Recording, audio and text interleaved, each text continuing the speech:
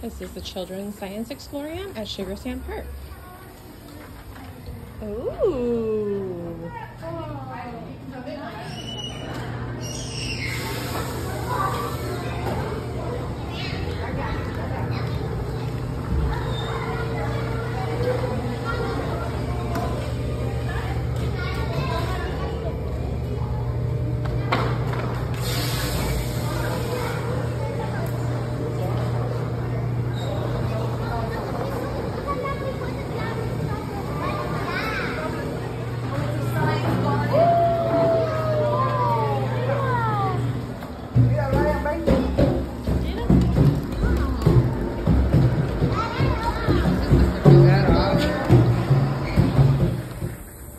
Sand Park Science Garden.